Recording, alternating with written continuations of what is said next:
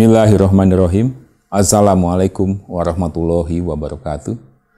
Seluruh rekan sejawat dan juga seluruh masyarakat Indonesia, pada hari yang penuh berkah ini, saya dan seluruh jajaran pengurus Perhimpunan Dokter Spesialis Ortopedi dan Traumatologi Indonesia mengucapkan selamat Hari Raya Idul Fitri 1441 Hijriah.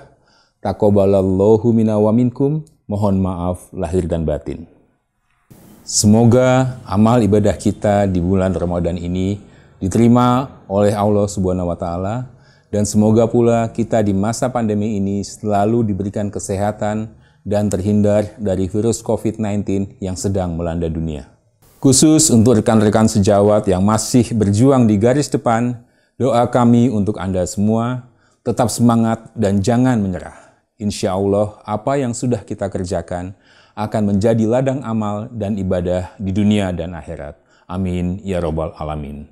Mari kita semua berdoa agar wabah ini segera berakhir dan kita semua dapat dipertemukan dengan Ramadan yang akan datang.